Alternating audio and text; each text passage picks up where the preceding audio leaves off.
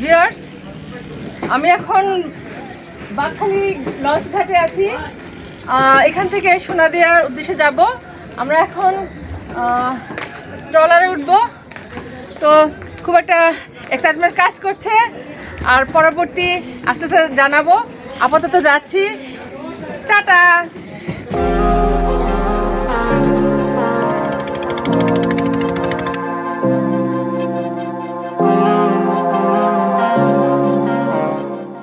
সোনাদিয়া দ্বীপে যাওয়ার জন্য দুভাবে যাওয়া যায়। চাইলে আপনারা সরাসরি কক্সবাজার থেকে রিজার্ভ বোট নিয়ে সোনাদিয়া যেতে পারেন। সময় লাগবে দু ঘণ্টা দশ মিনিট। অথবা লোকাল ট্রলারে করে মহেশখালী আদিনাথ ঘাটে, সেখান থেকে অটোতে করে ঘটিভাঙ্গা ঘাটে। যেহেতু জোয়ার ভাটার উপর নির্ভর করে ট্রলার সোনাদিয়া যায়, সেহেতু ওই সময় আপনারা আদিনাথ মন্দির, মহেশখালী পর্যটন পার্ক ঘুরে আসতে পারেন। ঘটিভাঙ্গা থেকে মহেশখালী যেতে আপনাকে ভাড়া গুনতে হবে জনপ্রতি পঁয়ত্রিশ টাকা থেকে পঞ্চাশ টাকা।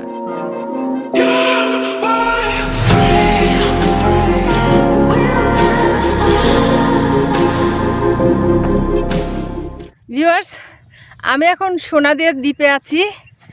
চারপাশটা দেখায় কিছুক্ষণ পর সূর্য অস্ত যাবে। আমরা এখন সাগর পাড়ে যাচ্ছি।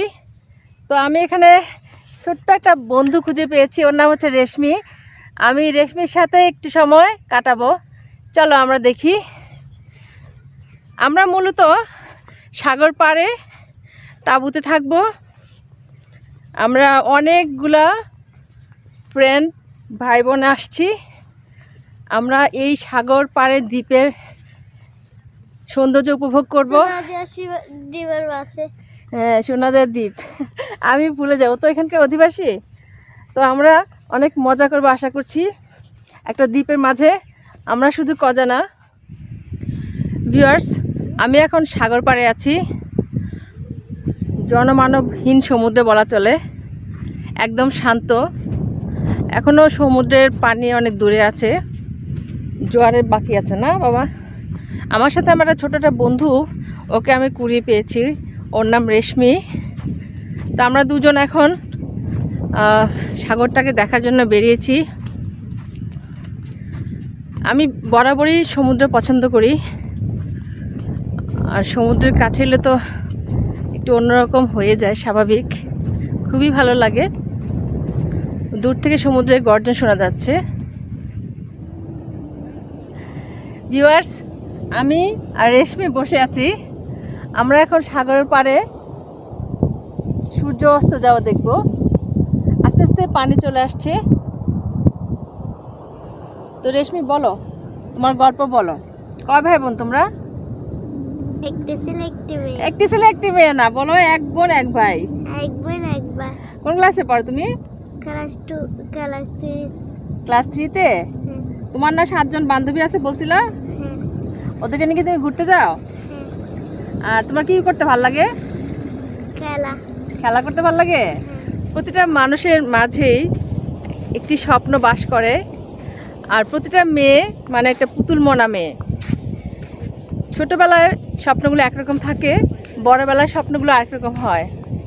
এই মেয়েটি আমাকে এখানে দেখে কেন জানি আমি না ডাকতে আমার কাছে চলে এসেছে এবং সে আমাকে খুব ভালো একটা সঙ্গ দিচ্ছে। অনেক সময় কোথাও গেলে দেখা সুন্দর আমার খুব সুন্দর লাগতেছে? হ্যাঁ। ও শুরু থেকে শুধু বারবার বলছে আমাকে নাকি তাকে খুব সুন্দর লাগতেছে। আসলে খুব সুন্দর মনের একটা মেয়ে খুব সুইট একটা মেয়ে আর আমারও খুব ভালো লাগছে ওর সঙ্গ। তো বিয়ার্স আমি মূলত কোথাও গেলে বাচ্চাদের সাথে কথা বলতে পছন্দ করি। আর ও দেখলাম খুব সহজেই মিশে যাচ্ছে। খুবই লক্ষ্মী একটি মেয়ে। আমরা এখন দুজনে সাগর পাড়ে হাঁটবো গল্প করব। আর মূলত যেহেতু আমরা এখানে ঘুরতে এসেছি রাতের বেলা হয়তো বারবিকিউ হবে গান হবে অনেক কিছু হবে। তখন হয়তো রেশমিকে পাবো না তাই এই জন্য ওকে সাথে নিয়ে ঘুরতে এসেছি।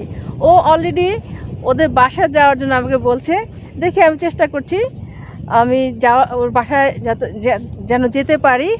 আপাতত ওকে নিয়ে আমি ঘুরি। আচ্ছা রেশমি তুমি গান পারো? হ্যাঁ। আচ্ছা গান গাও তো। ভিউয়ার্স সূর্যটা খুব সুন্দর আলো ছড়াচ্ছে সাগরের পানিতে। আস্তে আস্তে পানি বাড়ছে। দূরতে গর্জন শোনা যাচ্ছে। এই সময়টা আসলে খুবই সুন্দর। আর সুন্দর একটি পরিবেশে আমি এখন একটি গান শুনব আমার ছোট্ট বন্ধু রেশমির কাছ থেকে। রেশমি তোমার একটা পছন্দের গান আমাকে শোনাও।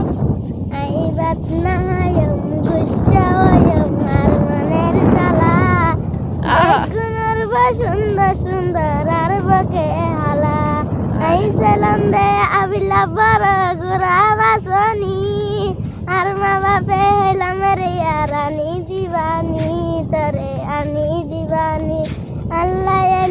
তুম সুসিকে হালা আর মনের জ্বালা। আইবাত নাহায়ম গুসাওয়ম আর মনের জ্বালা। ব্যাগুণর সুন্দর সুন্দর, আর বকে হালা। না না, তোমাকে কে বলছে তুমি কাল? তুমি অনেক সুন্দর। তুমি মন খারাপ করবে না। এবার আমরা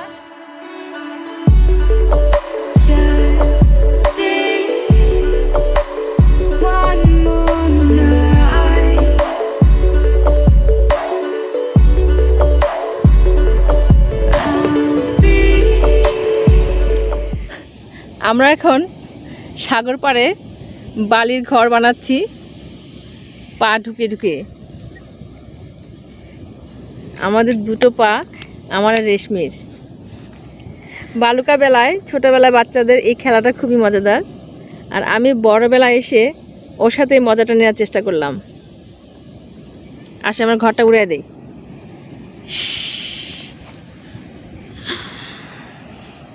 সূর্যটা ডুবে যাচ্ছে, ডুবে গিয়েছে অলরেডি এখন আমরা আস্তে আস্তে ঘরে ফিরে যাব। জনপ্রতি একদিনের খাবার খরচ পড়বে পাঁচশো পঞ্চাশ টাকা থেকে ছশো টাকা। আমরা তাঁবু নিয়ে এসেছি। আপনারা চাইলে এখান থেকেও তাঁবু ভাড়া করতে পারেন। দুজনের তাঁবু ভাড়া পড়বে তিনশো টাকা থেকে তিনশো পঞ্চাশ টাকা। তাঁবু ভাড়া নিলে ওনারাই আপনাকে রাতে ঘুমানোর জন্য উপকরণগুলো দেবেন। যারা আপনাকে তাঁবু সরবরাহ করবেন। যেহেতু সোনাদিয়া পর্যটকদের জন্য এখনও তেমনভাবে পরিচিত নয়, তাই নিরাপত্তার স্বার্থে লোকাল গাইডের সাথে আলোচনা করে আসলেই ভালো হয়। আর ভিডিও ডেসক্রিপশন বক্সে লোকাল গাইডের ফোন নাম্বার দেওয়া থাকবে।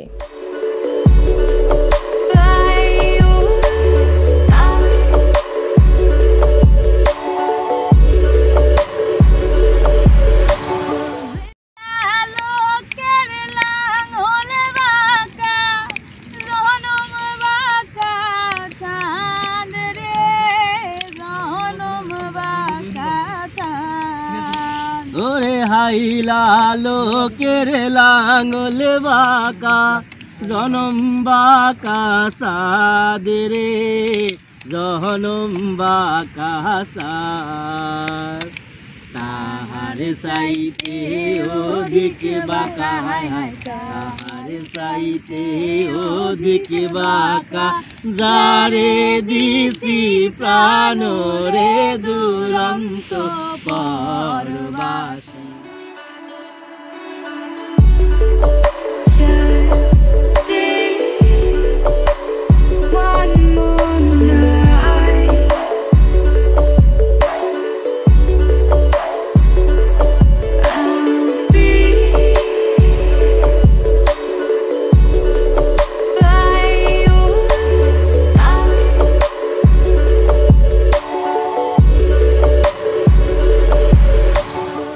রাতের ক্যাম্পিং শেষে আমরা সকালে সোনাদিয়া ঘুরে দেখার জন্য বের হলাম এত এত লাল কাঁকড়া দেখে মনে হয়েছে এজন্যই এই বীজকে লাল কাঁকড়ার অভয়ারণ্য বলে.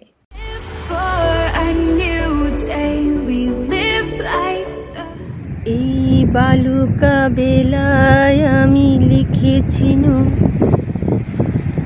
একটি সে নাম আমি লিখেছিল আজ সাগরের ঢেউ দিয়ে তারে যেন মুছিয়া দিলাম। মনে হচ্ছে যে এই গানটি বোধহয় এখন এই পরিবেশের সাথে যায়। খুব পছন্দের একটি গান, যদিও বিরহ ধরনের। যান্ত্রিকতা থেকে দূরে আর সকল ব্যস্ততায় নিজেকে অবসর দিতে চাইলে সুন্দর নির্জন এই দ্বীপটিতে আপনাকে ভ্রমণ করতেই হবে এক পাশে ঝাউবন আর এক পাশে সমুদ্রের গর্জন আপনার সকল ক্লান্তি দূর করে দেবে এ দ্বীপের সৌন্দর্যে আপনি এতটাই মুগ্ধ হবেন যে বারবার ছুটে আসতে ইচ্ছে করবে not today. Just stay.